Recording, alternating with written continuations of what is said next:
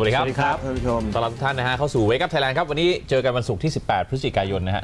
2565 อยู่กับเราสามคนนะฮะอาจารย์ศิโรจน์ครามไพบูลย์นะครับคุณชูวัตรโรจน์ศรีสุขแล้วก็ผมกายพงศ์เสพเสดียคปรับระเสริฐนะฮะสวัสดีทั้งสองท่านก็ยังอยู่ในช่วงเอเปกครับนะครับแล้วก็วันนี้น่าจะเป็นวันที่เป็นทางการที่แบบผู้นำนะฮะเอ่อหลายประเทศเมื่อวานนี้ครบแล้วล่ะที่จะเดินทางมาใช่ไหมครับแล้วก็ประชุมกันครับครับ นะฮะเมื่อวานนี้มีเอ่อประธานาธิบดีจีนมาสีจิ้นผิงนะฮะเอ่อรองประธานาธิบดีสหรัฐนะฮะครับกำลังแฮร์ริสมาเมื่อวานเจ้าชายซาอุมาเมื่อคืน MBS ฮะครับใช่ไหมฮะมาเมื่อคืนนี้นะครับเอ่อพูดถึงเรื่องเอเปกเนี่ยนะฮะก่อนเข้ารายการเนี่ยตอนเช้าดูว่าเดือดเลยนะครับเรื่องของการเอ่อชุมนุมการไม่คิดว่าจะคลื่เดืนอดขบวขนาดนี้ก็เดือดใช่แล้วก็เอ่อตามข่าวคือป้าเป้าเนี่ยก็โดนโดนจับจนจับครับ ตอนนี้ยังไม่ได้ปล่อยนะฮะครับล่าสุดอืมยังไม่รู้ครับนะเดี๋ยวรอติดตามเพราะว่าสดๆร้อนๆเลยนะจริงสักประมาณ9ก้าโมงครึ่งที่ผ่านมาครับนี่เองนะสองชั่วโมงที่แล้วแล้วก็ก็สุนยางด้วยฮะ ครับเอ่อมีการเรามีภาพเลยนะคเหรับตุการณ์ตอนที่ชุลมุนกัน แล้วก็มีการยิงกระสุนยางนะครับ แล้วก็เอ่อในช่วงเบรกที่ 2 ต่อเนื่องนะครับ มาตั้งแต่วันแรกก็คือวันพุธนะฮะเราสัมภาษณ์ทางคุณหมายสิริกัญญาไปนะฮะในประเด็นเกี่ยวกับเอเปกนี่แหละนะครับเมื่อวานนี้น้องไมายเอ่อพัชรวรีครับก็มาในรายการ ผมไม่ได้มา ก็ฮะคุยเห็นบอกคุยกันยาวเลยนะทั้งรายการยาวเกือบทั้งรายการสนุกด้วยอ่าสนุกด้วย คนดูเยอะด้วยอ่านะครับแล้วก็เอ่อวันวันนี้เนี่ยนะฮะแขกรับเชิญที่จะมาเนี่ยนะครับคือคุณหมอมิ้งครับนะฮะนายแพทย์พรหมินทร์เลิศสุริยเดชก็จะมาคุยกับเราเรื่องเอเปกนะฮะแล้วก็อาจจะแอบถามด้วยนะฮะประสบการณ์ในสมัยที่ท่านจัดใช่ใช่ตอนนั้นเนี่ยคุณหมอเนี่ยเอ่อปี 46เนี่ยเป็นรัฐมนตรีพลังงานนะโอ้นะครับแล้วก็เอ่ออาจจะอาจจะแอบถามเรื่องเพื่อไทยด้วยนะเพราะแคนดิว่าเดตนายกครับคุณเศรษฐาเขาบอกนะฮะในทวิตเตอร์นะผมเห็นพอดีนั่นแล้วนะผมอยู่เพื่อไทยครับ ผมอยู่เพื่อไทยครับ หมายถึงว่าตอนนั้นแกอยู่ตรงพัก ไม่ใช่ไม่ใช่ไม่ใช่ให้ผมสังกัดพักแหมเดี๋ยวนี้มีแกเป็มีนหยสอดมามุชิกพักแล้วเหรอนี่มุกสมาชิกพักแล้วใช่ไหมถ้าอย่างนี้นั่นก็ต้องน่าจะเป็นแล้วล่ะอาจจะยัง แต่คำว่าอยู่เพื่อไทยมันตีความได้หลายแบบ คืออยู่ใจอยู่แล้วใจอยู่เพื่อไทยอุดมการอยู่เพื่อไทยเป็นสมาชิกไม่เป็นไม่เป็นไรหรอกยังไม่ได้ยินนะยังไม่เป็นยังไม่ได้บอกอย่างนั้นใช่หใช่รืออาจจะหมายถึงว่าตัวอยู่เพื่อไทยอยู่ตอนนั้นก็ได้กินข้าวอยู่ไปกินข้าวอยู่แถวนั้นจริงมุกอย่างนี้ต้องเป็นมุกแนวอาจารย์สีโรจน์นะอันนี้ผมไม่กล้าคือคือพาดพิงตัวคนที่เรารู้จักผมไม่ยุ่งอ๋ออ่าแต่ไม่เป็นไรแต่คนที่ไกลๆตัวคนใกล้ตัวผมไม่ให้แซวครับอ๋อนี่คนใกล้ตัวใช่ไหมก็เป็นคนพักใกล้เพื่ตัอวไทยไปแซวเขาเดี๋ยวก็ดราม่าครับดูต้องไปทวิตเตอร์ด่าไม่ได้หรอกครับครับอ่าแต่ทั้งนี้ทั้งนั้นก็เอ่อเบรกที่2เดี๋ยวเราติดตามคุณหมอมิงแต่ว่าเบรกแรกนะฮะเอาที่ผมเกริดไว้ก็คือครับไปดูเรื่องสถานการณ์การชุมนุมก่อนเลยนะครับเดี๋ยวผมเกริ่นก่อนนะฮะเดี๋ยวมีผู้สื่อข่าวเรารายงานมาด้วยนะ นะฮะเพราะว่าไปเกาะติดสถานการณ์อยู่ในพื้นที่ครับ คุณเชฟพลนะฮะแต่ว่าเอ่อวันนี้เนี่ยนะครับที่ลานคนเมืองต่อเนื่องมาหลายวันแล้วเนี่ยนะครับเมื่อคืนเป็นคืนที่สองนะที่เขามีบางส่วนค้างคืนใช่ไหมฮะแล้วก็มีมีผู้ชุมนุมจากหลายภาคส่วนมาครับ นะครับมีส่วนหนึ่งก็คือมาจากทางเหนือด้วยนะ ก็มาจากเหนือบ้างอีสานบ้างใต้บ้างจากจันทครับก็มีมาหลายพื้นที่ก็ผมคิดว่าหลายพื้นที่ก็เป็นกลุ่มที่เคลื่อนไหวกับ NGO นะครับอ่าอยู่และแล้ว องค์กรประชาชนในพื้นที่ต่าง ครับ 75 กลุ่มๆ ครับอืมคือคือ75กลุ่มที่รวมกันในนามรัษฎรหยุดเอเปกอืมครับนะฮะเออข้อเรียกร้องหนึ่งเนี่ยมันก็สอดคล้องกับไอ้เรื่องของการประชุมเอเปกได้ไงนะฮะวาระใช่ที่เขาจะประชุมกันไอ้เรื่องการฟอกตรงเลยสีอะไรต่างๆ BCG เนี่ยครับตรงเลยนะฮะคืออันนี้ไม่ใช่ประเด็นเรื่องไล่ประยุทธ์นะครับถ้าเป็นประเด็นเมื่อวานเนี่ยก็จะเป็นประเด็นไล่ด้วยเรื่องไล่ประยุทธ์นะครับเออแต่มันไม่ใช่ประเด็นหลักอ่านะไม่คืใช่อตอนนี้ประเด็นหลักคนไม่เข้าใจประเด็นนี้แล้วไงคือคนเคยบอกว่าเอ้ยไล่ประยุทธ์ไม่เห็นต้องไล่ตอนเอเปกแต่ว่าของ กรณีกลุ่มราษฎรหยุดเอเปกเนี่ยประเด็นหลักเขาคือเรื่องการแย่งชิงทรัพยากร ซึ่งเขามองว่านโยบาย BCG เนี่ยมันมันเอื้อกลุ่มธุรกิจขนาดใหญ่ครับมันจะนำไปสู่การสร้างโรงไฟฟ้า เพราะฉะนั้นเนี่ย ก็มีเหตุผลอ่าที่เขาจะต้องไปยื่นข้อเรียกร้องของเขาต่อแต่ที่ประชุมเอเปกครับแต่เรื่องคุณสมบัติของประยุทธ์ด้วยใช่ไหมใช่ใช่อ่าสิ่งที่เขาต้องการจะสื่อไปยังผู้นำใช่ต่างชาติที่มาเนาะครับเรื่องความชอบธรรมในการเป็นผู้นำเอเปกเนาะเอาเข้าจริงๆนะไอเนื้อหาของ BCG เนี่ยมันเป็นส่วนที่ภาคประชาสังคม ภาคประชาชนและ NGO เหล่าเนี้ยเขาเรียกร้องมาแต่ในแต่ไรแล้วเรื่องของการรักษาสิ่งแวดล้อมเรื่องของการมีการการความมั่นคงทางอาหาร การเอ่อมีอิสรภาพในเรื่องของพันธุ์พืชอะไรต่างๆเนี่ยครับเขาเรียกร้องมาตลอดอยู่แล้วอืมและเสร็จปุ๊บมาเอเปกยุคนี้เนี่ยมันเอา BCG เนี่ยไปฟอกเขียวอืมแล้วก็ทำให้ธุรกิจของมันได้ประโยชน์อืมแทนที่จะเป็นประชาชนได้ประโยชน์ครับใช่เออนะครับ เพราะฉะนั้นผมว่าโดยเนื้อหาเนี่ยสิ่งที่ รัษฎรหยุดเอเปกกำลังพูดก็คือว่าคุณมี BCG แบบนี้เนี่ยมันไปเอื้อในายทุนครับครับคุณต้องมีตัวดีเข้ามากำกับด้วยคือประชาธิปไตยอ่าคุณถึงจะทำให้ BCG เหล่านี้มันเป็นของประชาชนคือได้ ตอนนี้คนครับไทยจำนวนมากที่ตามข่าวเอเปกเนี่ยเริ่มไม่เข้าใจแล้ว บางคนบอกว่าเฮ้ยแบบ ชุมนุมทำไมเนี่ยเขาจะมาเซ็นข้อตกลงเอเปกทำให้คนไทยมีงานทำอันนี้ไม่เกี่ยวนะครับเอเปกไม่ได้เกี่ยวกับเรื่องให้คนไทยมีงานทำนะครับบางคนบอกว่าเฮ้ยเขามาประชุมเพื่อกระตุ้นเศรษฐกิจไทยไม่ใช่นะครับเอเปกไม่เกี่ยวกับการกระตุ้นเศรษฐกิจครับเอเปกเป็นเวทีความร่วมมือของหลาย ๆ ประเทศเพราะฉะนั้นครับไม่ได้เป็นประเด็นเรื่องจะมาทำให้คนไทยมีงานทมำนะครับไม่ใช่เป็นประเด็นเรื่องจะมาช่วยกันกระตุ้นเศรษฐกิจไทยครับใช่อันนั้นอันนั้นหน้าที่คนที่ชื่อประยุทธ์จันทร์โอชาซึ่งเป็นหัวหน้าทีมเศรษฐกิจ คือผู้นำโลกเขาคงไม่เสียเวลามาเพื่อจะให้ไทยได้ประโยชน์อย่างเดียวถูกไหมใช่ เขามา แล้วก็แบบใช่คือคือเขาถ้ามา represent ประเทศเขาอะนะถ้าจะว่าผู้ชุมนุมเนี่ยว่าได้ประเด็นเดียว อ่า คือทำให้ประยุทธ์เสียหน้า เอออ๋อเอางี้ฝั่งเราไม่ว่าหรอกอย่างนั้นถ้าประยุทธ์เสนาได้ไปอีกฝั่งอืมแต่ต้องต้องย้ำกับท่านผู้ชมไงเพราะตอนนี้คนไม่เข้าใจประเด็นเอเปกเยอะส่วนใหญ่จะคิดว่าเป็นการมาประชุมแล้วเศรษเศรษฐกิจไทยจะดีขึ้นต่างๆอ่านานาซึ่งอันนั้นไม่ใช่อ่านนะครับประชุมเสร็จเนี่ยเศรษฐกิจไทยก็เหมือนเดิมไม่มีอะไรดีขึ้นหรอกครับถ้าหวยไม่เชื่อเหมือนเดิม ไม่เชื่อท่านลองวันจันทร์เนี่ยประชุมเสร็จเนี่ยเศรษฐกิจท่านดีขึ้นผมจะไปกราบตีนเรียงคนเลย ผมจะกราบคนละสามรอบด้วยถ้ามีใครบอกว่าวันจันทร์ประชุมเอเปกเออเศรษฐกิจดีทันทีเนี่ยผมกราบตีนคนละสามรอบเลย ครับอย่าว่าอะไรลองถ้าประยุทธ์ทำเศรษฐกิจดีในวันจันทร์ผมจะไปให้เหยียบหน้าถึงทำเนียบเลย คุณทิพย์นานบอกแล้วนะว่าเราได้แบบโอ้โหไอ้วิธีการจัดประชุมของเรานานาชาติเขาชื่นชมหมดเลย อ้าวเหรอเราฮะ จะกลายเป็นจุดขายมากเรามีเรามีสถานสถานที่จัดประชุม ดีมากอะไรเงี้ยมันเอื้อธุรกิจไหมไม่แต่เรื่องะไมงี้ซ์ยมันก็อาจจะโอเค แต่ว่าประเด็นที่ตอนนี้รัฐบาลไปทำให้คนสับสนคือเอเปกจะทำไทยเศรษฐกิจดี ซึ่งตรงนั้นมันไม่ได้เกี่ยวกับอันไม้นี้คือแบบเอ้ยมันไม่ได้เกี่ยวกับคือ BCG คือรัฐบาลเนี่ยมีชอบจ้าง I.O. มาโพสต์อะไรโง่ๆอะครับแล้วก็คิดว่าคนอื่นในในโลกเนี่ยจะโง่เหมือน I.O. รัฐบาลไงใช่ใช่จ้างพวกทหารเกณฑ์ใช่วันละ300มาโพสต์อะไรบ้าๆบอๆเราคิดว่าคนอื่นเขาจะเชื่อแล้วแบบมันแย่ไงแบบนี้แล้วมันบาอางจทีจะมีคนเชื่อแต่น้อยมาก น้อยมากน้อยมากแต่ทีนี้มันก็ทำให้การสื่อสารของผู้ชุมนุมสับสนไงใช่บางทีแบบ เอามาชุมนุมทำไมเขาจะมาช่วยเศรษฐกิจไทยกันอย่างเงี้ยครับสีจิ้นผิงจะมาช่วยอะไรเศรษฐกิจไทยอะครับครับโอ้โหเรามีแต่จะขายเรือดำน้ำให้ไทย คบกับจีนไทยไม่เห็นได้อะไรเลยครับ ขายของอย่างเดียว คือถ้าจะเอาแบบทันทีนะ มันก็ไม่ได้ไม่ได้มาจาก BCG เหมือนกัน ถ้าเกิดคุณเฮียสีนะบอกเลยว่าพรุ่งนี้เนี่ยปล่อยเปิดประเทศเข้ามาใน ให้ท่องเที่ยวไทยอืมๆอย่างเงี้ยทันทีไม่ได้แต่ว่าเขายังมีไหมล่ะเออนี่ก็ไม่ได้พูดเรื่องนี้เป็นวาระหลักไหมล่ะนะฮะยังซีโร่โควิดอยู่เลยถูกไหมอย่างที่อาจารย์ซิวผมผมเนี่ยเห็นบางคนในรัฐบาลบอกด้วยว่าหมดเอเปกเนี่ยนักท่องเที่ยวจะมาไทยมาไทยเยอะขึ้นครับหลังประชุมเอเปกชาติไหนนี่พูดถึงชาติพูดพูดถึงชาติไหนมันไม่น่าจะมีชาติไหนเพราะจีนก็ยังไม่ได้เปิดประเทศนี่ครับอ่าไม่น่าจะมีนะคือชาติอื่นเขาก็มากันหมดแล้วแหละถูกป่ะตอนนี้เออคือจริง ๆ ที่ขาดอยู่จริงๆคือนักท่องเที่ยวจีนนะเออถูกไหมฮะที่ที่อาจจะยังเดินตอนทางนี้มาลำบากกลับไปเท่าก็ต้องไปกักตัวแบบนานใช่เท่าที่มีอยู่ศักยภาพของเราที่จะดึง นักลงทุนนักท่องเที่ยวแบบนั้นมาเนี่ยมีอย่างครับเดียวเลยอืมอินเดียเทาจีนเทารัสเซียเทาอย่างนั้นนะเอออันนั้นน่ะเยอะอยู่ครับเออนะครับอะทีนี้เอ่อพูดถึงเรื่องของการชุมนุมเนี่ยนะครับ คือมัน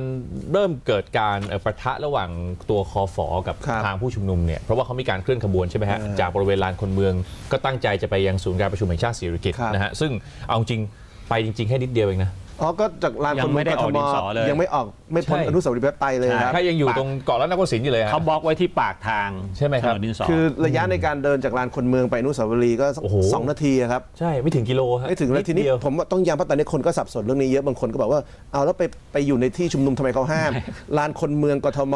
ครับนะครับมันอนุสาวรีย์ประชาธิปไตยครับ การชุมนุมเอ่อการประชุมเนี่ยอยู่ที่8กิโลฮะเอ่อศูนย์ศิริกิตนะครับศูนย์ศิริกิตเนี่ยอยู่ที่แยกอโศกครับ นะครับความรู้พื้นฐานที่คนไทยทุกคนควรจะต้องมียกเว้น I.O. โง่ก็คืออโศกกับราชดำเนินในยห่างกัน 8 กิโลอย่างที่คุณชูวัตรบอก แต่ว่าถ้าเกิดถ้าเกิดคุณเป็น N เอ่อ I.O. แล้วคุณ ต้องรับจ้างโง่เนี่ยอันนั้นอีกเรื่องหนึ่งแต่ถ้าอ่าแต่ถ้าคุณเป็นคนธรรมดาเนี่ยคุณก็ไม่ควรจะไม่รู้ขนาดว่าครับ Google Map ก็มีฮะเอ่ออโศกกับราชดำเนินเนี่ยไม่มีไม่มีการไม่ไม่ใช่พื้นที่ใกล้กันขนาดนั้นนะนะครับเออยกเว้นแบบเมื่อวานที่ที่ไปชุมนุมแยกอโศกเนี่ยนะฮะมีการปะทะกัอันนอีกยเรื่องหนึ่งะฮเพราะฉะนั้นเคสนี้เนี่ยเป็นสิ่งที่ต้องวิพากษ์วิจารณ์เพราะว่า บางคนสับสนว่าผู้ชุมนุมเนี่ยเข้าไปใกล้ใกล้เขตประชุมซึ่งไม่ใช่ครับห่างกัน 8 กิโลอืมนะครับเป็นพื้นที่ซึ่งไม่ได้เป็นพื้นที่ต้องห้ามด้วยครับครับแล้วเขาประกาศชัดเจนนะฮะว่าเขาจะเดินเท้าไปอย่างเรียบร้อยใช่ไหมฮะเพื่อไปยื่นหนังสือครับยื่นเสร็จก็กลับไม่ได้มีอะไรจะทำลายแล้วการประชุมอะไรไม่มีอย่างนั้นอยู่แล้วฮะตัวเนี้ยประเด็นคือว่าคุณไปบล็อกเขาบล็อกเขาเสร็จปุ๊บก็ดูจะมีท่าทีที่แข็งกร้าวมาก มีกระสุนยางยิงแล้วยิงมีการกระสุนยางล่าผู้ชุมนุมล่าผู้มีเอากระบองจับกลุ่มไปฟาสาดมคนแล้วอะไรอย่างเงี้ยแล้วฮะอย่างเงี้ยนะครับก็ ตอนนี้อัลจาซีราก็ออกรายงานข่าวเรื่องนี้ไปเรียบร้อยแล้วนะครับครับว่าสิ่งที่เกิดขึ้นตอนนี้ก็เป็นการรักษาหน้าให้พลเอกประยุทธ์ว่าสามารถควบคุมการปกครองคนในประเทศได้อืมเออนี่ก็ดูแย่แล้วครับแล้วทำอย่างกับว่าคนที่ประชุมอยู่ในศูนย์ประชุมที่สิริเขากิติ์จะไม่รู้จะไม่รู้เออเขาคงไม่ตำหนิคุณประยุทธ์ตอนนี้หรอกนะฮะแต่ภาพนี้มันไปทั่วโลกอยู่แล้วครับถูกไหมนะครับฮะดูจากการที่เอ่อฝ่ายผู้ชุมนุมเนี่ยก็ไม่ได้แข็งกร้าวจริงๆนะฮะเขาก็บอกว่า ถ้าอย่างนั้นเอาตัวแทนของเออที่ประชุมครับ21เขตเนี่ยมารับหนังสือได้ไหมอืม ก็คุณบารมีก็ประกาศในที่ว่าจะมี5 5ตัวแทนแล้วครับใช่ไหมก็ยังไม่รู้ว่าเป็นใครนะฮะอ่าจากประเทศไหนแต่ว่าเห็นไหมเลยว่าในนานาชาติเนี่ยเขาตอบรับเรื่องนี้อ่าอยู่พอสมควรแต่ใช่ทำไมประยุทธ์ไม่ทำเรื่อครังบแบบนี้เนี่ยอืมอืมนะฮะไปไปไปโฟกัสแค่เรื่องความสงบเรียบร้อยเนี่ยถูกไหมใช่แล้วก็นะฮะอาจจะกังวลเป็นพิเศษกับเรื่องเอาใจสีจิ้นผิงโอ้โห ใช่ไหมคือตั้งแต่เมื่อคืนกับจนถึงวันนี้รู้สึกไฮไลท์คือการพบกันของสีจิ้นผิงว่าจะชื่นมื่นขนาดไหนครัแต่บตุนมันก็ไม่ได้ไปขัดแย้งกับสีจิ้นผิง ไม่มีหมีภูสักคนนะนี่มีผู้โพลมีเหมือนกันมีเหรอแล้วมีก่อนหน้านี้โดนไปแล้วเอาตุ๊กตาไม่ไม่วันเนี้ยมีอ๋อวันนี้มีมีใช่ไหมมีไหมมีมีไปไหมมีไปเอาตุ๊กอ๋ตาอไปถ้าอย่างแขวนั้นนก็คงอะแต่ทำไมสีจิ้นผิงเกลียดหมีภูเขาเป็นอะไรมันน่ารักออกนะผมว่าเออทำไมมีเขาต้องภูเกลียดอะเขาเป็นอะไรผมไม่ชอบเลยผมจริงก็ไม่รู้แต่ว่ามันก็นานมาแล้วนี่ ใช่ไหมที่มีคนใช่เอาไปเทียบไงว่าเขาเอาหมีภูเป็นสัญลักษณ์แทนสีจิ้นผิงใช่ก็ตอนที่เดินคู่กับหน้าคล้ายกันอย่างเงี้ยเดินคู่กับเอ่อโอบาไม่มารู้ดูมันเหลืองเหลืองๆแดงๆมั้งใส่ไม่คือตอนนั้นแบบนั้มันนเป็นภาพคู่กับชื่ออะไรนะพี่พิกเลตป่ะเอ่อโอบามากับอ่าฮะกับกับเอ่อกับสีจิ้นผิงเดินด้วยกันที่ทำเนียบขาวตอนไปเยือนนะฮะอ๋อแล้วมันเป็นภาพเหมือนในการ์ตูนเรื่องวินนี่เดอะพูอ๋อเหรอครับครับแล้วก็เลยเป็นหมีภูกับอีกตัวหนึงนั้นเป็นพิกเลตอ๋อนะฮะเลยคู่กันแต่โอบามาเขาไม่ได้ดิ้นอะไรไง แต่ว่าอันนี้ก็อีกเรื่องหนึ่งผมเพิ่งรู้นะครับเอ่อกิจกรรมที่เขาทำตอนไออะไรนะใช้กิโยตินตัดหัวเผด็จการนะฮะมีรูปคุณประยุทธ์อะนะฮะแล้วใช้เสาชิงช้าครับนะอาจารย์สิโรจน์นะครับเป็นสัญลักษณ์แทนกิโยตินแล้วก็ทำเป็นรูปใบมีดตัดฉึบลงมาเนี่ยนะฮะอันเนี้ยคือเกิดขึ้นตรงลานคนเมืองเลยไงใช่ไหมตรงเสาชิงช้าซึ่งข้ามถนนไปอยู่ตรงข้ามก็ไม่รู้เมื่อสักครู่นี้ครับแต่อันนี้เป็นจังหวะการประทะกันนะฮะครับเนี่ยตำรวจนะฮะประกาศผ่านเครื่องขยายเสียงนะครับว่าไม่ให้ผ่านนะครับป้าเป้าเนี่ยนะฮะถูกจับกลุ่ม ขึ้นรถขังไปนะฮะขึ้นรถขังของอาสอนอชนะสงครามนะครับแล้วก็มีนักกิจกรรมไม่ต่ำกว่า 5 คนไปด้วยเออวันนี้ปืนเยอะดีนะครับ ใช่ใช้กระสุนยางด้วยอย่างที่พิชวัตรบอกนะครับเนี่ยตำรวจดังเขาขึ้น 2 นัดแบบคิดถึงปืนนะครับไม่ได้ยิงนานหมดทะลุแก๊สแล้วไม่ได้ใช้ปืนนานเลยขอจัดหน่อยครับใช่ใช่กลัวปืนขัดหรือยังไง ไม่นะจังหวะการตีมีกาปัญรหาเรื่องฟาขัดดลำกล้องเหรอหรืออะไร นี่มันไม่ใช่แบบศูนย์ซิลิกิตนะนี่มันห่างกัน 8 กิโลอะคือเหตุผลในการใช้ปืนวันนี้คืออะไร คือเท่าที่ดูภาพเนี่ยมันไงมันจะเห็นแบบอันเนี้ยมีคนถือไม้อะไรเงี้ยครับเออแล้วก็เขาก็จะมีคนถือกระสุนยางเนี่ยเดินออกมาแนวหลังเลยอืมครับเพื่อครับจะมายิงแต่ว่าอืมอันนี้ก็ต้องแฟร์ว่าเขาไม่ได้ยิงสูงนะฮะอืมเขาก็ยิงตามยุทธวิธีนี่แหละอืมอ่าเพียงโอเคแต่ว่าลำดับการใช้เนี่ยมันควรจะเป็นกระสุนยางแล้วเหรออือืมมอืมจากเออเบาไปหาหนักเนี่ยมันพรวดใช่ไปที่กระสุนยางนี่คือเป็นมาตรการปกติแล้วใช่ไหมคือความรุนแรงของสถานการณ์เนี่ยถูกไหมฮะโอ้ยแล้ว ไอไอเรื่องของระยะระยะด้วยเนาะ แต่คนนี้ก็ล้มไปนี่ใช่ไหม อะแต่คนถือไม้เขาก็ไม่ได้ฟาดนะฮะอ่าเขาก็เหมือนกับขู่อะใช่ใช่ เพราะว่ามันเป็นการยื้อยุดฉุดกระชากจับผู้ชุมนุมกับมันเป็นช่วงที่เขาจะเอารถครับตำรวจฮะ ที่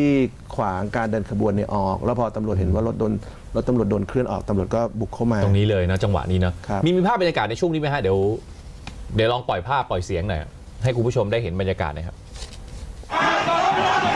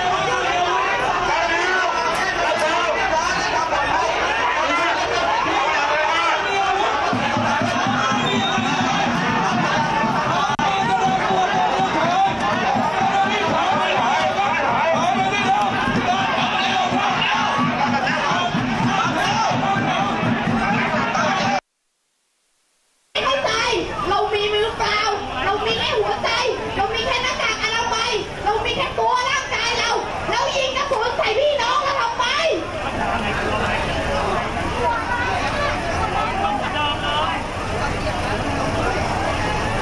พอผอพอผอพอผอทั้งผู้น้อยทั้งหลายที่ถูกนายสั่งมา พวกท่าน ลองสำนึกดูว่าสิ่งที่นายท่านสั่งนั้น มันถูกต้องไหม มันใช่เรื่องไหม ที่มีการยิงกระสุนยางใส่พี่น้อง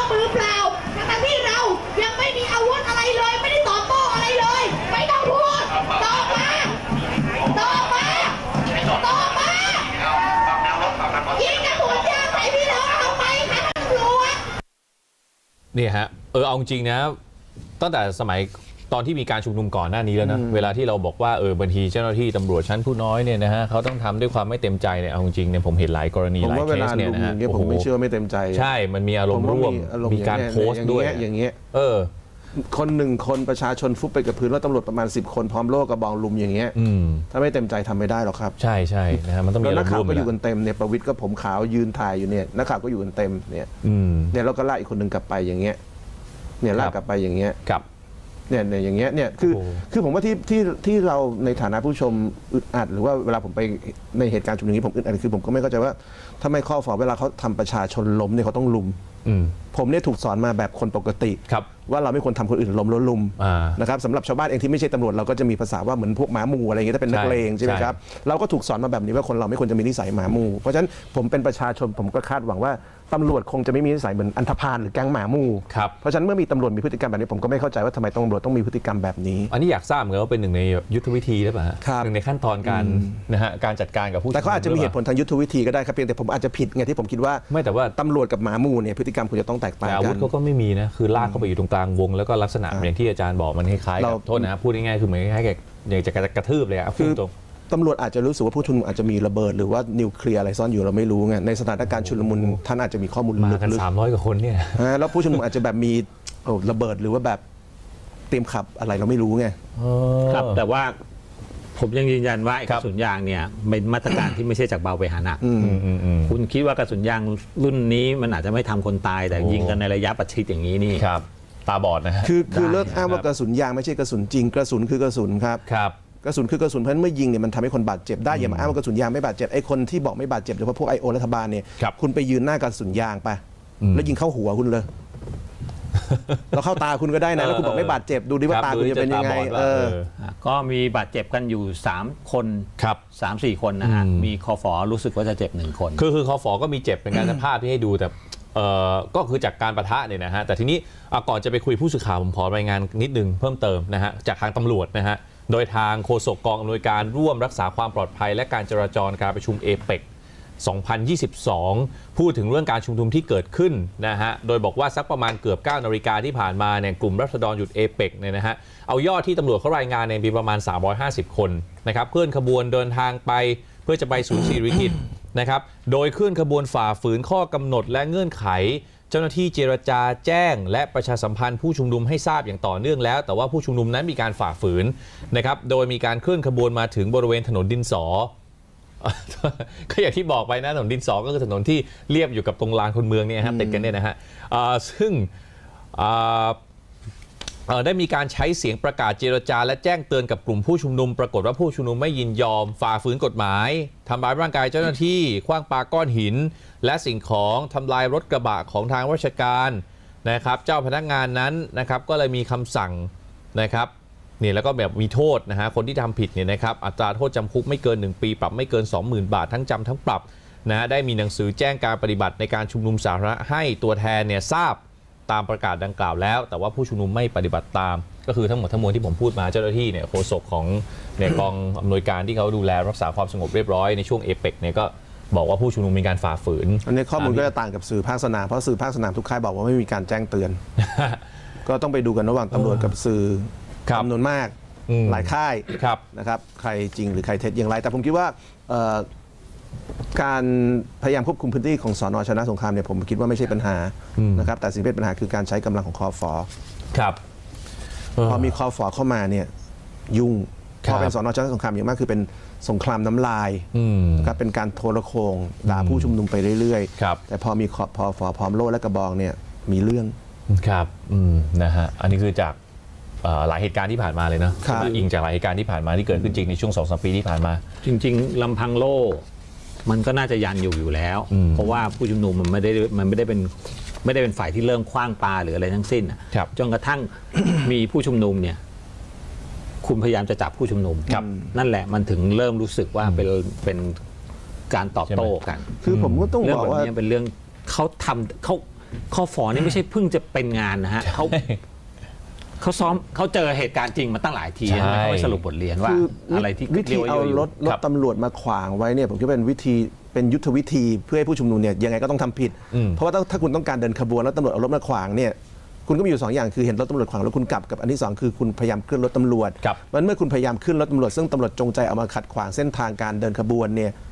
ก็คือตำรวจบีบให้ประชาชนต้องผิดกฎหมายอะอืมใช่ไหมครับ เพราะว่าประชาชนเขาต้องการเดินขบวนแล้วจุดที่เขาเดินเนี่ยก็ไกลจากศูนย์เศรษฐกิจอยู่ 8 กิโล เมื่อตำรวจเอารถตำรวจรถควบคุมผู้ต้องขังมามาปิดถนนหลังจากที่เขาออกจากลานคนเมืองได้ประมาณ 3 นาทีเนี่ย ผู้ชุมนุมมีทางเลือกอะไรอะครับอืมระหว่างหนึ่งกลับไปที่ลานคนเมืองเพราะมีรถตำรวจขวาง อันที่สองคือก็ต้องพยายามเลื่อนรถครับแล้วพยายามเลื่อนรถปุ๊บเนี่ยก็เป็นเงื่อนไขทางยุทธวิธีที่ตำรวจบอกได้เลยว่าคุณเนี่ยพยายามเลื่อนรถตำรวจครับเมื่อเลื่อนรถตำรวจถ้าคุณทำลายทรัพย์สินราชการเพราะฉะนั้นอืมเมื่อคุณทำลายทรัพย์สินราชการ เราจัดหนักคุณได้ครับผมว่าวิธีนี้ไม่ตรงไปตรงมานะคือผมไม่ว่าถ้าจะมีการใช้กำลังถ้าผู้ชุมนุมผิดนะครับ แต่ผมคิดว่ากรณีแบบนี้เนี่ย ตำรวจไม่ตรงไปตรงมาครับตำรวจจงใจเอารถมาขวางผู้ชุมนุมให้ผู้ชุมนุมเนี่ยต้องเลื่อนรถแล้วเมื่อผู้ชุมนุมเลื่อนรถตำรวจบอกว่าเนี่ยไงคุณย้ายทรัพย์สินราชการคุณมีความผิด เพราะฉะนั้นเราใช้กำลังได้ครับผมไม่ชอบความไม่ตรงไปตรงมาแบบนี้ครับอืมนะฮะอะระหว่างรอทางผู้สื่อข่าวเราเดี๋ยวผมขอย้อนกลับไปก่อน เพราะว่าอยากให้ให้ได้ได้ได้ฟังจากเอ่อผู้สื่อข่าวที่อยู่ในพื้นที่ด้วยเนาะครับนะเขารายงานว่ามันเป็นไปตามที่ตำรวจบอกด้วยหรือเปล่าครับนะฮะไอ้เรื่องของสถานการณ์ที่เกิดขึ้นเมื่อช่วงเช้าที่ผ่านมานะครับย้อนกลับไปดูของเมื่อวานหน่อย คือคือเมื่อวานเนี่ยนะครับ ที่บริเวณแยกอโศก คือจุดที่เขามีการชุมนุมนั้นเขาแบ่งเป็น 2 จุดนะครับ คือที่ลานคนเมืองส่วนหนึ่งใช่ไหมฮะอโศกจุดหนึ่งนะฮะลานคนเมืองนี่คือกลุ่มรัษฎรหยุดเอเปก2022 ใช่ไหมที่เขาปักหลักนะฮะพักค้างชุมนุมกัน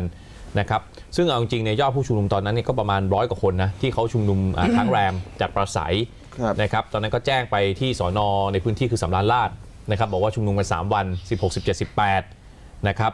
แล้วก็มีบางเอ่อบางส่วนน่ะมวลชนบางส่วนที่เขาแยกไปทำกิจกรรมเชิงสัญลักษณ์ด้วย ก็คืออีกกลุ่มหนึ่งที่อโศกอโศกนี่คือกลุ่มรัษฎร 63 ซึ่งกลุ่มรัษฎร 63 เนี่ยเขาเอ่อข้อเรียกร้องเนี่ยนะฮะก็เหมือนกับที่เรียกร้องมาตลอด2สปีที่ผ่านครับมานะครับก็คือเรื่องของไล่ประยุทธ์เอ่อของของคุณประยุทธ์ด้วยถ้าประยุทธ์ไม่มีความชอบธรรมในการอ่าเป็นเอ่อคนจัดเอเปกใช่แล้วก็มีการเสริมเรื่องของไอ้การไอ้แก้ไขยกเลิก1นึด้วยครับ นะฮะไอ้ตรงจุดที่อโศกนี่แหละเนี่ยที่มีการชูป้ายแล้วก็เนี่ยแต่งกายชุดไดโนเสาร์มาใช่ไหมคือจุดที่อโศกเนี่ยเมื่อวานเนี่ยควรจะมีเรื่องหนักกว่าวันเนี้ยเพราะเรื่องของที่อโศกเนี่ยเรื่องอะไรแรงกว่าเล่นประยุทธ์ตรงๆ แล้วก็มีเรื่องหนึ่งหนึ่งสองบางคนก็พูดถึงข้อ3ไฟเย็นอ่าซึ่งด้วยผมก็ไม่รู้ว่าคืออะไรนะครับแต่ได้ยินชาวบ้านพูดว่าข้อ3ไฟเย็นอย่างนี้เนี่ยอ๋อเดี๋ยวแล้วเดี๋ยวอธิบายให้ฟังตอนโฆษเอณาอนั่นแหละผมว่าผมรู้สึกคือเรื่องของอโศกเนี่ยมันน่าจะมีเรื่องมากกว่าที่ราชดำเนินหรือกทม แต่ครับกลับกลายเป็นว่าเรื่องอโศก ซึ่งตัวประเด็นเนี่ย ดูดุดันกว่าอืมเพราะตรงกทมเนี่ยเป็นเรื่องทรัพยากรเป็นหลัก เป็นเรื่องชาวบ้าน ชาวบ้านจะนะอย่างเงี้ยครับชาวบ้านสหพันธ์เกษตรกรภาคเหนือ ชาวบ้านภาคอีสานอย่างเงี้ย มันไม่ควรจะโดนหนักขนาดนี้ครับคือผมไม่ได้บอกอโศกควรจะโดนหนักนะครับ แต่ว่าผมว่าเมื่อวานเนี่ยพอเป็นเป็นเรื่องที่อโศกตัวเรื่องมันแหลมนะครับ แต่ตำรวจไม่ได้จัดหนักเนี่ย วันนี้คงมีการสื่อสารว่ามึงอย่าให้เกิดแบบอโศกอีกนะอืมเพราะฉะนั้นเมื่อมีการสื่อสารแบบนี้ว่ามึงอย่าให้เกิดแบบอโศกอีก วันนี้เจ้าหน้าที่ใช้กำลังเต็มเหนียว โอ้โห คุณก็ตัดไฟตั้งแต่ต้นลมเกินตั้งแต่ถนนดินสอ ใช่ เมื่อวานนี้คอฟอเนี่ย ไม่ไม่ไม่ทะลุเพดานเท่านี้ใช่ใช่ไม่ใช้กำลังทะลุเพดานเท่านี้เชิงรับไม่ลุกครับอ่าอืมแต่วันนี้แต่วันเนี้ยใช้กำลังทะลุเพดาน ผมเชื่อว่ามันมีการสั่งการมาว่าเมื่อวานนี้มึงไปถึงไปถึงอโศกได้ยังไงใช่ไหมฮะนายไม่พอใจเออเราไม่ได้ประชุมใหญ่พวกมึงอย่าปล่อยอืมเพราะฉะนั้นหวยเลยมาออกที่กลุ่มลานคนเมืองใช่ซึ่งจริง ๆ หลักๆเนี่ยต้องย้ำท่านผู้ชมว่าเป็นชาวบ้านจะนะครับนะครับเป็นสหพันธ์เกษตรกรภาคเหนือ นะครับแล้วก็เป็นกลุ่มชาวบ้านที่เดือดร้อนจากปัญหาทรัพยากรต่างๆ เรื่องเขื่อนเรื่องของการเอ่อที่เขากังวลว่าจะมีการสร้างโรงไฟฟ้าชีวมวลแล้วจะไปไล่ที่ชาวบ้านต่างๆนานา คือเป็นประเด็นแบบ NGO เป็นประเด็นแบบการต่อสู้เรื่องเชิงทรัพยากร แล้วก็คนที่เป็นการนำคนหนึ่งคือคุณสมบูรณ์กำแหงนะครับครับซึ่งก็คือประธานกรรมการประสานงานองค์กรพัฒนาเอกชนแห่งประเทศไทย หรือพูดง่ายๆคือประธานกรรมการประสานงานของ NGO ในประเทศไทย ครับ อืม นะฮะ อะเดี๋ยวไปฟังทางผู้สื่อข่าวเรานะ พูดถึงสถานการณ์ที่เกิดขึ้นก่อนก่อนเราจะไปไอประเด็นถัดไปในเรื่องของการประชุมเอเปกนะฮะตอนนี้ซึ่งอ่าทางผู้สื่อข่าวของเราคุณชยพลมาลานิยมนะฮะตอนนี้ไปเกาะติดสถานการณ์แล้วก็เดี๋ยวจะรายงานเข้ามานะฮะอยู่ในสายแล้วตอนนี้นะฮะเอ่อเดี๋ยวเชิญเลยครับคุณชยพลครับคุณชยพลได้ยินเราสามคนชัดไหมครับ ได้ยินชัดเจนเลยครับผมสวัสดีครับครับอ่ารายงานสถานการณ์ที่เกิดขึ้นในช่วงเช้าที่ผ่านมาจนถึงตอนนี้ได้เลยครับ ตอนนี้นะครับล่าสุดเนี่ยผมมาติดตามสถานการณ์ตั้งแต่เวลาประมาณ8นาฬิกาครึ่งนะครับ ซึ่งทางกลุ่มมวลชนเนี่ยได้มาปักหลักกันที่ลานคนเมือง ตั้งแต่เมื่อคืนวานนะครับ ซึ่งก็ในช่วงเช้าก็ได้มีการรวมตัวประชาชนกันเพื่อไปทำกิจกรรมกลุ่มบริเวณเสาชิงช้านะครับมีกิจกรรมกิโยตินตัดหัวเผด็จการนะครับ ซึ่งในช่วงนั้นเนี่ยก่อนที่กิจกรรมนั้นจะเริ่มด้วยซ้ำเนี่ยทางเจ้าหน้าที่ตำรวจได้เข้ามาอ่าอำนวยอำเอ่อดูแลความปลอดภัยในพื้นที่แล้วนะครับ ตั้งเดิมเนี่ยผู้ชุมนุมวางแผนจะเดินทางไปในเส้นบำรุงเมืองเพื่อมุ่งหน้าอย่างถึงจุดเอเปกแต่ว่าทางคอฟอเนี่ยได้ตั้งแนวกั้นเอาไว้นะครับจึงได้ย้ายมาที่ถนนดินสอพพอเดินมาที่ถนนดินสอก็มีแนวกั้นอีกแนวหนึ่งตรงศาลาว่าการกรุงเทพอะครับแต่ว่าหลังจากยื้อยุดกันประมาณหนึ่งทางคอฟก็เปิดทางให้เดินมาอีก 500 เมตรครับมาถึงถนนดินสอนี้ทางมุ่งหน้าไปยังอนุสาวรีชัยประชาธิปไตยนะครับ ก็เจอคอฟรถตำรวจ แนวกั้นอย่าง หนาแน่นอยู่ ก็เกิดเหตุอย่างที่ได้รายงานไปเบื้องต้นครับนะฮะเออผู้ชุมนุมที่ถูกจับไปเนี่ยนะครับ นอกจากตัวของทางป้าเป้าเองเนี่ยนะครับ มีอีกกี่คนนะฮะ ตอนนี้จากที่ฟังรายงานนะครับป้าเป้าเป็นคนแรกที่โดนจับไป และยังมีอีกประมาณ 6 คนที่โดนจับไปครับ ซึ่งบางท่านเนี่ยผมได้รับรายงานจากสื่อทนายเพื่อเพื่อสื่อมวลชนว่าถูกจับกุมไปที่สอนอที่สองห้อง ซึ่งไม่ใช่สอนอในพื้นที่ที่เกิดเหตุนะครับ อืมนะครับเพราะตามข่าวตอนแรกบอกว่าไปที่สอนอชนะสงครามที่ตกลงไม่ใช่นะใช่ไหมฮะตอนนี้ล่าสุดป้าเป้าอยู่ที่ชนะสงครามครับ แต่ว่า คนที่ไปที่สอนอทุ่งสองห้องอันนี้ไม่แน่ใจว่าเป็นคนไหนแล้วก็อ่าโดนคุมตัวไปตั้งแต่เมื่อไหร่ครับคาดว่าเป็นช่วงชุลมุนครับ แล้วก็มีการกวาดประมาณ 6 คนขึ้นรถไปครับ ครับครับ แล้วส่วนผู้บาดเจ็บล่ะฮะ มีรายงานแล้วหรือยังฮะ ผู้บาดเจ็บที่ผมเห็นด้วยตาตัวเองนะครับ คือในช่วงแรกที่มีการดึงรถตำรวจออกมา แล้วทางคอฟอก็ บุกเข้ามา มีเสียงกระสุนยางดังขึ้น 2 นัดนะครับ ในภาพไลฟ์สดของ Voice TV จะเห็นได้เลยว่า มีกระบอกปืนหนึ่งหันมาทีทางผู้ชุมนุมนะครับ ซึ่งเป็นเหมือนอากาศนะครับ เข้าที่ศีรษะและล้มลงไป ผมเห็นคนคนนั้นโดนหามผ่านหน้าผมไปนะครับ ส่วนท่านอื่นๆ อาจจะโดนโดนตำแหน่งอื่น ผมยังไม่ได้รับรายงานด้านนี้ครับ แต่ล่าสุดมีคนที่โดนที่ศีรษะแน่ๆแล้วหนึ่งคนครับเจ้าหน้าที่ตำรวจเขาชี้แจงว่าเขาได้มีการประกาศว่าจะมีการ ยิงกระสุนยางหรือสลายการชุมนุมแล้ว แล้วทำตามขั้นตอนหมดเอ่อสื่อภาคสนามบางคนบอกว่าไม่มีการทำตามขั้นตอนเอ่อในฐานะที่คุณเชียร์พลอยู่ที่จุดเกิดเหตุเนี่ยตกลงเจ้าหน้าที่ได้มีการแจ้งมาตรการในการใช้กำลังตามขั้นตอนหรือมีการยิงกระสุนยางทันทีครับโดยปกติเนี่ยเจ้าหน้าที่จะประกาศก่อนที่จะมีการลงมือสลายหรือใช้อาวุธใช่ไหมครับครับแต่เท่าที่ผมอยู่ในเหตุการณ์นะครับ เสียงประกาศจากเจ้าหน้าที่คือการบอกว่าการชุมนุมนี้ผิดกฎหมายอาญาพรบข้อใดบ้าง แล้วก็ขอให้ย้อนถอยกลับไปในทำกิจกรรมต่อที่ลานคนเมืองซึ่งเป็นพื้นที่ที่ไม่ได้ควบคุมนะครับ ไม่ได้มีการประกาศว่าจะมีการเข้าสลายหรือใช้อาวุธแต่อย่างใดก่อนที่จะมีการยิงกระสุนยางครับโอเคครับ ตอนนี้การชุมนุมในพื้นที่ยังมีอยู่ไหมครับ แล้วเอ่อเป็นไปในลักษณะไหนครับ ตอนนี้เท่าที่ผมสังเกตเห็นด้านหลังนะครับ หลังจากที่มีเหตุกันเมื่อครู่นะครับ ตอนนี้ทางกลุ่มผู้ชุมนุมได้ตัดสินใจที่จะปักหลักอยู่บนพื้นพื้นถนนดินสอเลยครับ ยังไม่มีการยืดยุดอะไรเพิ่มเติมนะครับ แต่ว่าได้เริ่มมีการอ่าทานอาหาร เริ่มมีการร้องรำทำเพลงกัน ยังไงก็ไม่ได้ไม่ไม่ยอมถอยกลับไปครับก็เรียกได้ว่าเป็นม็อบปักหลักตำแหน่งนี้แหละครับครับ ในฝั่งคอฟอนี่มีรถจีโน่มีอะไรอย่างนี้ไหมฮะ มีตู้คอนเทนเนอร์อะไรมาเตรียมไว้ไหมฮะ ยังไม่มีครับเท่าที่เห็นนี่มีแค่กำลังคนแล้วก็รถตำรวจที่เป็นรถกระบะนะครับ ซึ่งเป็นที่น่าสังเกตครับว่า ก่อนหน้านี้ได้มีการประกาศว่าจะสลายการชุมนุมในเวลา 11นาฬิกาซึ่งถ้าทำอย่างนั้นจริง ตอนนี้เวลาผ่านมานานมากแล้ว ถ้าทำจริงก็ทำได้ง่ายมากเพราะว่าด้านหลังผมเนี่ยก็เป็นถนนถ้าหากว่าตำรวจยกกำลังลงมาด้านนี้ก็คือสลายได้ง่ายไม่มีทางได้ ตอนนี้ยังไม่มีการดำเนินการ แบบนั้นแต่อย่างใดครับครับครับแล้วแล้ววันนี้ยังไม่มีแก๊สน้ำตาใดๆทั้งสิ้นใช่ไหมฮะเป็นแค่คอฟอมียังไม่โล่ครับฮะเอ่อมีข้อเรียกร้อง มีความยังคืไม่บหมีน้ายังไม่เห็นแก๊สน้ำตาและยังไม่เห็นรถน้ำครับ ครับอืมแล้วมีความคืบหน้าในข้อเรียกร้องไหมฮะว่าตกลงมีตัวแทนมารับข้อเรียกร้องไหมฮะล่าสุดผมได้ยินทางแกนนำประกาศว่าจะมีตัวแทนจากสถานทูตประมาณ 5ถึง6ประเทศที่จะเข้ามารับข้อเสนอครับ แต่ว่าข้อมูลตรงนี้ยังไม่ได้รับการยืนยันจากทางฝั่งแกนนำครับครับนะฮะเดี๋ยวรอติดตามกันต่อไปขอบคุณคุณเชฟพลมากนะครับ ถ้าเกิดว่ามีสถานการณ์ด่วนอะไรเข้ามาเดี๋ยวรายงานเข้ามาใหม่นะฮะขอบคุณนะครับ ขอบคุณนะครับครับครับครับสุริยะเอ่อสถานการณ์ล่าสุดนะฮะตกลงคือผู้ชุมนุมก็ไม่ได้ถอยกลับไปที่เอ่อลานคนเมืองแล้วก็ปักหลักอยู่ตรงเอ่อ บริเวณถนนดินสอแหละแต่ว่าเอาจริงๆมันก็อย่างที่บอกว่ามันก็ใกล้เหลือเกินอะเออมันใกล้กันอะก็ถือว่าเป็นบริเวณเดียวกันได้ ใช่ผมคิดว่าถ้าเกิดตอนเย็นยังมีอยู่ผมจะไปจัดรายการสดเออนะไปเลยนะโอเวอร์วิวนี้เห็นนะเห็นปูนปั้นไปเนี่ยคือปูนปั้นเนี่ยคนชอบแต่ว่าหน้าเหมันผมอ่าผมนะคจะรับไปดูว่าของจริงเป็นยังไงเออนะครับแต่ว่า เดี๋ยวถ้ามีสถานการณ์เอ่อเร่งด่วนอะไรเข้ามาตอนนี้ครับเดี๋ยวเราตัดรายงานเข้ามานะคุณปุณป้านเข้ามาแล้วครับแต่ว่าอย่างที่ผมบอกไปว่าคงต้องเบรกก่อนเพราะว่าเรามีแขกรับเชิญมาคุยครับนะฮะคือคุณหมอพรหมบินนั่นเองเดี๋ยวตอนนี้เราพักกันสักครู่ครับ